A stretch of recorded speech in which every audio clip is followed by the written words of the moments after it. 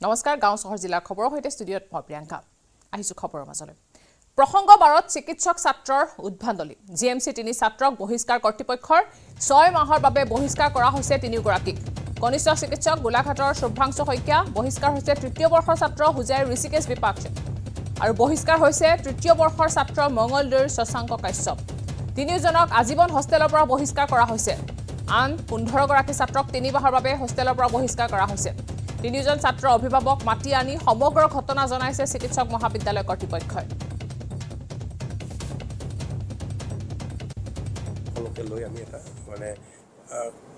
খুব তাৎক্ষণিকভাৱে আমি তদন্তটো আমি আৰম্ভ কৰিলোঁ। আৰম্ভ কৰোঁতে হয় এই তিনিওজনে এডমিট কৰিলে যে তাহাঁতে মদ খাব যোৱাটো সঁচা।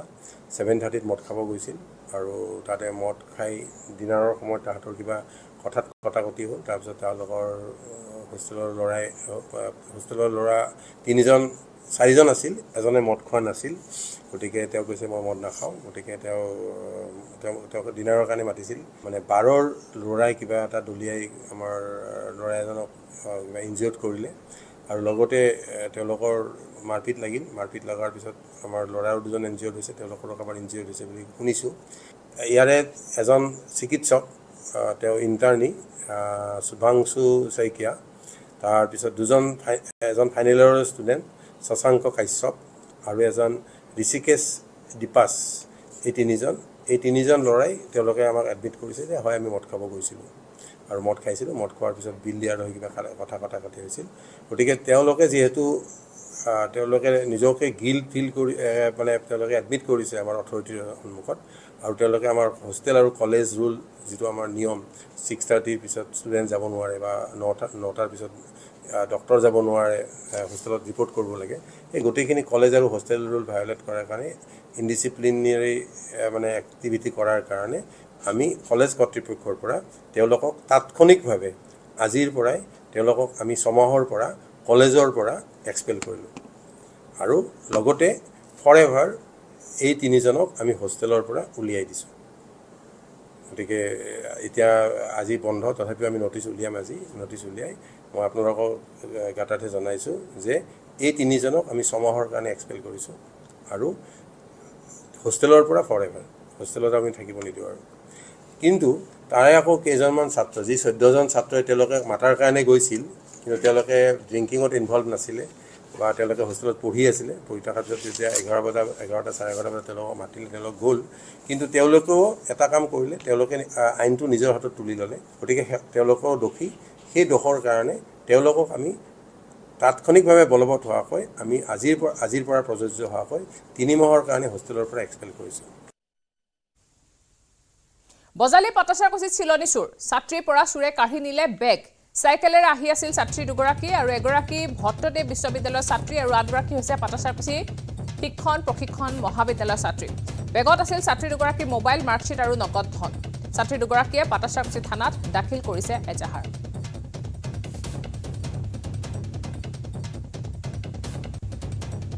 পুৱা কলেজত আহি থাকোঁতে কলেজৰ পৰা দুজন ল'ৰা পশ্চিম দিশৰ পৰা দুজন ল'ৰা আহি মোৰ বেগটো লৈ পূব দিশলৈ গুচি গৈছে। বেগটোত মোৰ বহুতো ডকুমেণ্ট আছিল ইম্পৰ্টেণ্ট আৰু মা দেউতাহাৰো আছিল আৰু মোৰ লগতে পইচা আছিল পইচাবিলাকো লৈ গৈছে।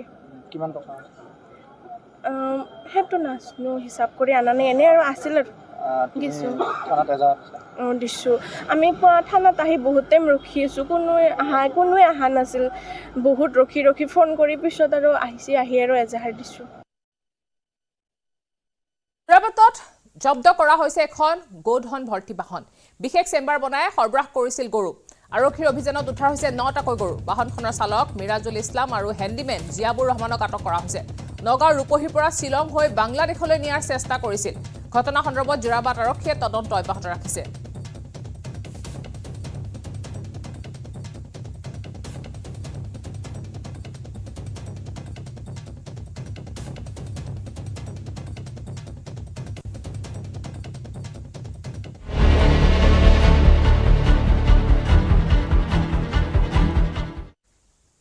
উত্তৰ কাশীত শ্বাসৰুদ্ধকৰ পৰিস্থিতি। এই পৰ্যন্ত উদ্ধাৰ হোৱা নাই। চিল্কেৰা সুৰংগত আবদ্ধ হৈ থকা একচল্লিছজন শ্ৰমিক। বৃহস্পতিবাৰে এডাল লোহাৰ ৰদত লাগি ড্ৰিলিং মেচিনৰ এটা অংশ ভাঙি যোৱাৰ ফলতে বন্ধ হৈ পৰা উদ্ধাৰ কাৰ্য এই পৰ্যন্ত পুনৰ আৰম্ভ হোৱা নাই। মেচিনটো সোনকালে মেৰামতি কৰাৰ আশা কৰা হৈছিল যদিও নিশা পৰ্যন্ত মেৰামতিৰ কাম সম্পূৰ্ণ নোহোৱাত শেষ মুহূৰ্তত নিশা স্থগিত ৰখা হয় উদ্ধাৰ অভিযান। উত্তৰাখণ্ডৰ মুখ্যমন্ত্ৰী পুষ্কৰ সিং ধামী নিশালৈকে ঘটনাস্থলীত উপস্থিত থাকি পৰিস্থিতিৰ বুজ লৈ আছিল। মাত্ৰ কেইমিটাৰমান আঁতৰত আবদ্ধ হৈ থকা শ্ৰমিককেইজনক উদ্ধাৰৰ বাবে আজি পুনৰ অভিযান চলোৱা হৈছে। আন্তঃৰাষ্ট্ৰীয় ড্ৰিলিং বিশেষজ্ঞ আৰ্নল ডিক্সে জনোৱা মতে মাত্ৰ কেইমিটাৰমান দূৰত্বত আছে উদ্ধাৰকাৰী দল। আজি পুৱাৰে পৰা বেংগালুৰুৰ স্কোৱাড্ৰন মাইনিং কোম্পানীৰ অত্যাধুনিক ড্ৰোন টেকনলজিৰ উদ্ধাৰ অভিযানৰ ব্যৱহাৰ কৰা হৈছে। আশা কৰা হৈছে অতি শীঘ্ৰে আবদ্ধ শ্ৰমিকসকলক উদ্ধাৰ কৰিব পৰা যাব। ৰেলিং ষ্ট্ৰেচাৰৰ সহায়ত উলিয়াই অনা হ'ব শ্ৰমিকসকলক আৰু উদ্ধাৰৰ পিছতে শ্ৰমিকসকলক স্বাস্থ্য পৰীক্ষাৰ বাবে সৰ্বতোপ্ৰকাৰে সাজু হৈ আছে চৰকাৰ। গ্ৰীণ কৰিডৰেৰে শ্ৰমিকসকলক নিয়া হ'ব হস্পিটেললৈ আৰক্ষী এস্কৰ্টসহ হস্পিটেললৈ নিয়া হ'ব উদ্ধাৰ কৰা শ্ৰমিকসকলক। সুৰংগৰ বাহিৰত সাজু কৰি ৰখা হৈছে ত্ৰিছখনকৈ এম্বুলেন্স। সমান্তৰালকৈ চিনিয়া চিলাউচৰ সামূহিক স্বাস্থ্য কেন্দ্ৰত সাজু কৰি ৰখা হৈছে একচল্লিছখন বিচনা সুৰংগৰ পৰা আবদ্ধ শ্ৰমিকক উদ্ধাৰৰ পিছতে প্ৰদান কৰা হ'ব চিকিৎসা সেৱা। উদ্ধাৰ হোৱাৰ পিছতে শ্ৰমিকসকলক চিনিয়ালিশ্বৰ হস্পিটেললৈ নিয়া হ'ব আৰু প্ৰয়োজন হ'লে ঋষিকেশলৈ নিয়া হ'ব। কেন্দ্ৰীয় মন্ত্ৰী জেনেৰেল ভি কে সিঙেও বৃহস্পতিবাৰে ঘটনাস্থলীত উপস্থিত হৈ পৰিস্থিতি পৰ্যবেক্ষণ কৰে।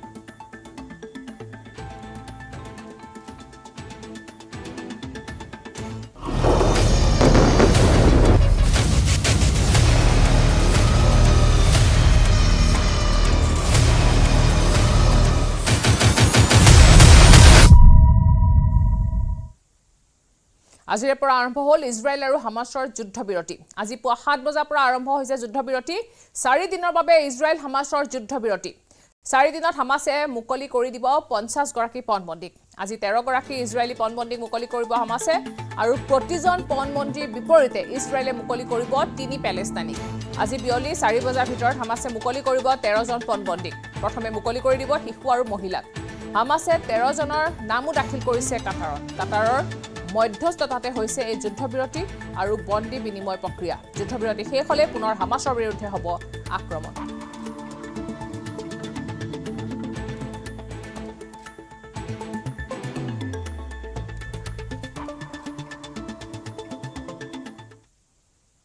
কবি নৱৰূপ মজুমদাৰলৈ শব্দ সম্প্ৰীতি সাহিত্য সংগঠক দুহেজাৰ তেইছ সন্মান প্ৰদান কৰা হৈছে। গুৱাহাটীৰ শ্ৰীমন্ত শংকৰদেৱ কলাক্ষেত্ৰৰ শ্ৰী শ্ৰী মাধৱদেৱ আন্তৰ্জাতিক প্ৰেক্ষাগৃহত শব্দ মৈত্ৰী সহযোগত সম্প্ৰীতিৰ মুক্ত মঞ্চৰ দ্বিতীয় বাৰ্ষিক অধিৱেশন উপলক্ষে আয়োজিত আন্তঃৰাষ্ট্ৰীয় কবি সন্মিলনত সাহিত্য ভাৰতী অসমৰ প্ৰতিষ্ঠাপক তথা মুখ্য প্ৰশাসক সেউজ সাহিত্য সভাৰ সাংগঠনিক সম্পাদক সাহিত্য সাধনা মঞ্চ অসম কামৰূপ জিলাৰ মুখ্য আহ্বায়ক। অসম আবৃত্তি আৰু সংস্কৃতি পৰিষদ গুৱাহাটী মহানগৰৰ সাংগঠনিক সম্পাদক শিৱশক্তি ধৰ্মীয় ন্যাসৰ সঞ্চালক তথা কবি নৱৰূপ মজিমদাৰক শব্দ সম্প্ৰতি সাহিত্য সংগঠক সন্মান দুহেজাৰ তেইছ প্ৰদান কৰা হৈছে।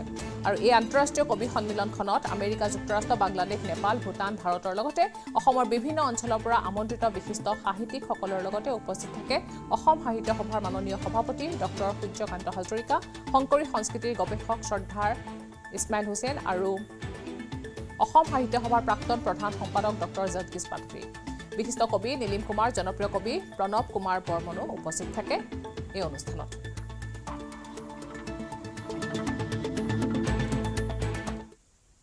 গাঁও চহৰ জিলাৰ খবৰত আছে আৰু খবৰ কিন্তু তাৰ আগতে এটা সৰু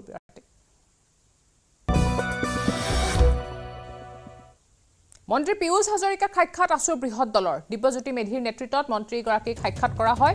কেইদিনমান পূৰ্বে আছুৰ পৰা পদত্যাগ কৰিছিল মেধিয়ে। আছুৰ আন এক বৃহৎ দলেও সাক্ষাৎ কৰিব মন্ত্ৰীগৰাকীক।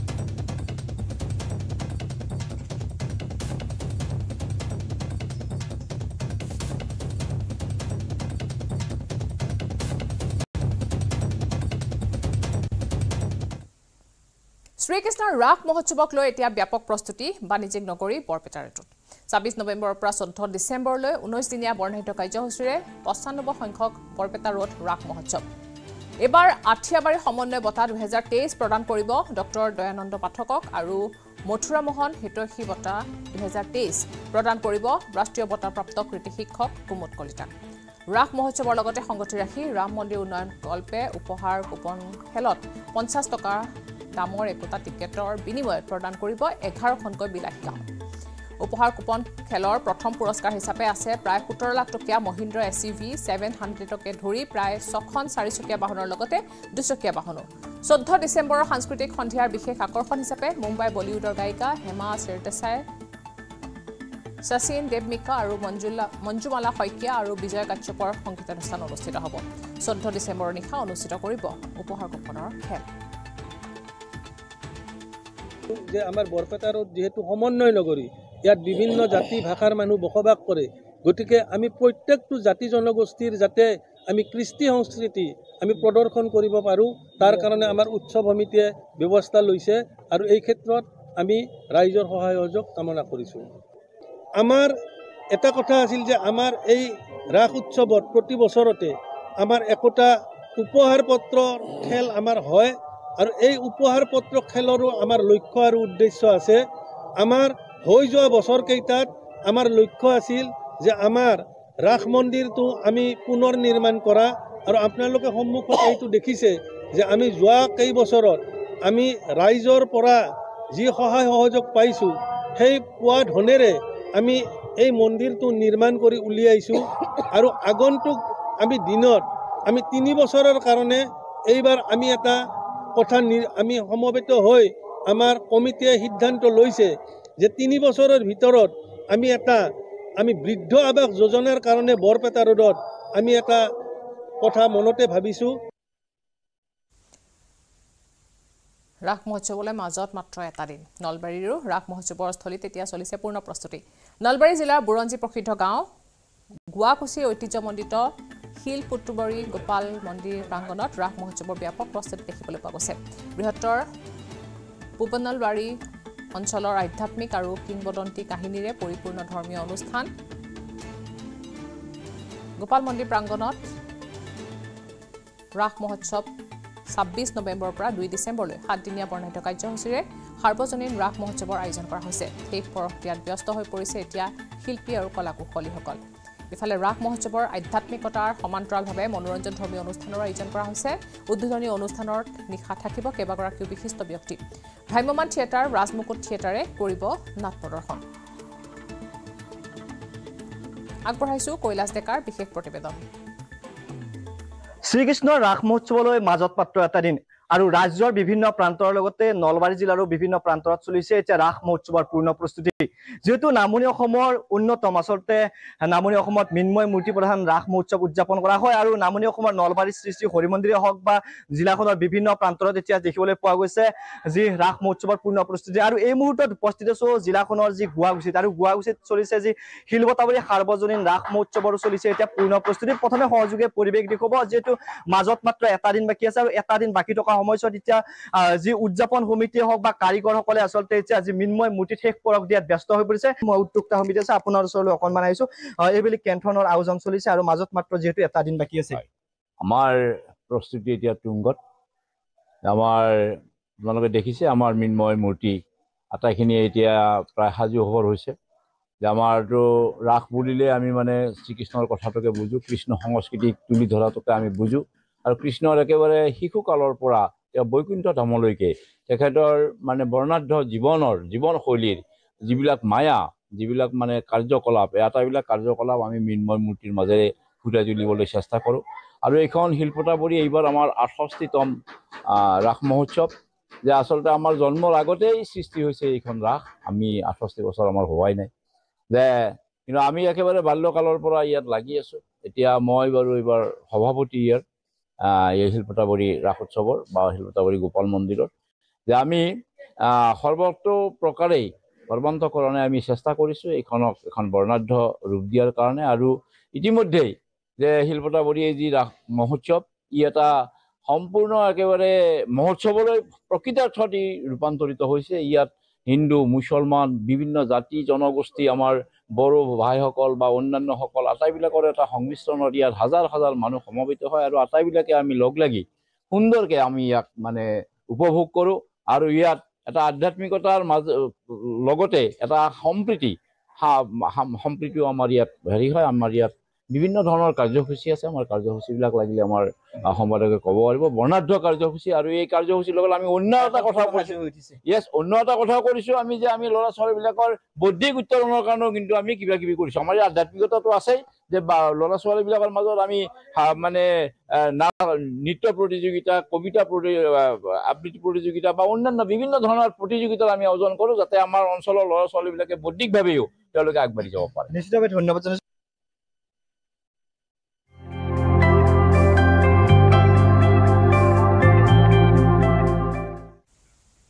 আছুৰ নতুন সভাপতি সম্পাদক বাছনি শংকৰ উৎপলৰ নেতৃত্বতে আগবাঢ়ি যাব আছু। উৎপল শৰ্মা আছুৰ নতুন সভাপতি সাধাৰণ সম্পাদক হিচাপে পুনৰ নিৰ্বাচিত হৈছে শংকৰজ্যোতি বৰুৱা। বিষয়ববীয়া সভাত নতুন কমিটি ঘোষণা কৰা হৈছে। ভাৰপ্ৰাপ্ত সভাপতি আছিল উৎপল শৰ্মা মুখ্য উপদেষ্টা হিচাপে থাকিব সমুজ্জ্বল কুমাৰ ভট্টাচাৰ্য। চাৰি বছৰীয়া হ'ব আছুৰ নতুন কাৰ্যনিৰ্বাহকৰ কাৰ্যকাল। পূৰ্বে তিনি বছৰীয়া আছিল আছুৰ কাৰ্যনিৰ্বাহকৰ কাৰ্যকাল কিন্তু এতিয়া চাৰি বছৰীয়া হৈছে। এতিয়াৰ পৰা আছুত থাকিব আমন্ত্ৰিত সদস্য। আমন্ত্ৰিত সদস্য নাথাকিব কোনো বয়সৰ ঊৰ্ধসীমা উপদেষ্টা পদৰ বাবেও বয়সৰ ঊৰ্ধসীমা নাই। সভাপতিৰ দায়িত্ব অৰ্পণ কৰা হৈছে উৎপল শৰ্মা ডাঙৰীয়াক। সন্মানীয় সাধাৰণ সম্পাদকৰ দায়িত্ব অৰ্পণ কৰা হৈছে শংকৰজ্যোতি বৰুৱা ডাঙৰীয়াক। আৰু সদৌসম ছাত্ৰ সন্থাৰ মৰিগাঁও অধিৱেশনে উৎপল শৰ্মা ডাঙৰীয়াক সভাপতি শংকৰজ্যোতি বৰুৱা ডাঙৰীয়াক সাধাৰণ সম্পাদক হিচাপে লৈ এখন ৰাজ্যিক কাৰ্যনিৰ্বাহক সমিতি গঠন কৰিছে। আৰু উৎপল শৰ্মা ডাঙৰীয়া শংকৰজ্যোতি বৰুৱা ডাঙৰীয়া আৰু ৰাজ্যিক কাৰ্যনিৰ্বাহকৰ সকলো বিষয়ববীয়াৰ সদস্য সদস্যাক মই আন্তৰিক অভিনন্দন জনাইছোঁ। পৰৱৰ্তী কি কি কাৰ্য মানে কেনেকুৱা ধৰণৰ প্ৰস্তাৱ গ্ৰহণ চাওক আজি নতুন কমিটি গঠন হ'ল। গতিকে মই সভাপতি উৎপল শৰ্মা ডাঙৰীয়া সাধাৰণ সম্পাদক শংকৰজ্যোতি বৰুৱা ডাঙৰীয়া আৰু ৰাজ্যিক কাৰ্যনিৰ্বাহকৰ সকলো বিষয়ববীয়া সদস্যক মই আন্তৰিক অভিনন্দন জনাইছোঁ। আৰু মোৰ দৃঢ় বিশ্বাস যে তেখেতসকলৰ নেতৃত্বত অসমৰ ছাত্ৰ ছাত্ৰীসকলৰ সুৰক্ষিত ভৱিষ্যত নিশ্চিত কৰাৰ লগে লগে অসমৰ খিলঞ্জীয়া মানুহৰ স্বাৰ্থ সুৰক্ষিত কৰিবলৈ বলিষ্ঠ পদক্ষেপ লৈ বলিষ্ঠ নেতৃত্বৰে তেখেতসকল আগবাঢ়ি যাবলৈ সফল হ'বই সেই আস্থাৰ বিশ্বাস মই তেখেতসকলৰ ওপৰত অৰ্পণ কৰিছোঁ।